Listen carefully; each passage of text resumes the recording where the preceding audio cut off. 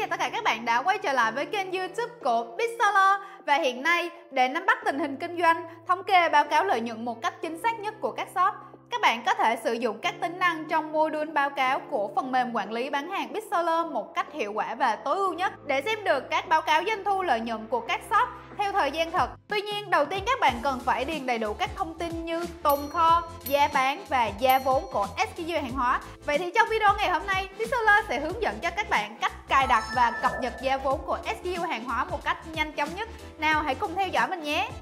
Đầu tiên các bạn cần phải hiểu giá vốn là gì. Giá vốn tức là giá thành của SKU hàng hóa. Giá vốn luôn biến động. Tuy nhiên, mỗi khi nhập kho, hệ thống sẽ tự động tính lại giá vốn SKU hàng hóa theo công thức tính giá vốn.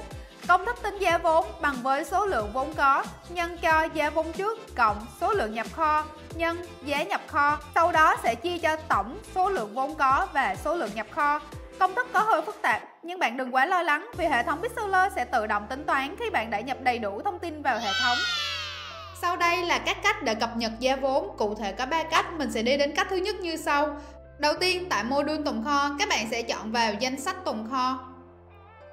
Tại đây, các bạn vui lòng kéo chuột sang bên trái để hiển thị giá vốn.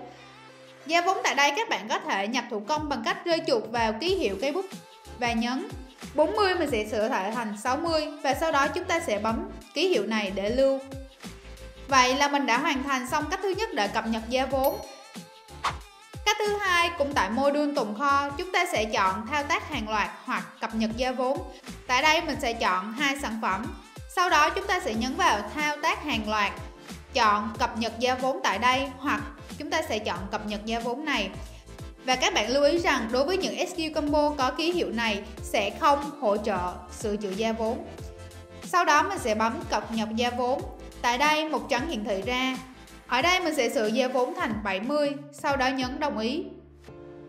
Vậy là mình đã cập nhật giá vốn thành công.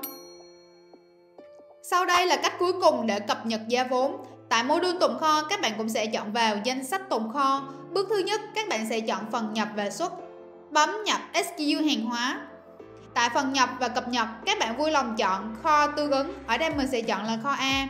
Sau đó các bạn có thể tải xuống mẫu để xem định dạng tập tin. Tại đây các bạn có thể thay đổi tất cả các thông tin như ý muốn, trong đó bao gồm giá vốn. Sau đó chúng ta sẽ chọn tải lên tập tin để cập nhật thông tin.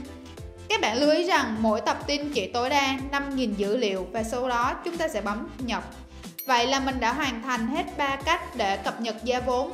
Sau đây là một vài lưu ý dựa điểm khác nhau của giá vốn và giá tham chiếu.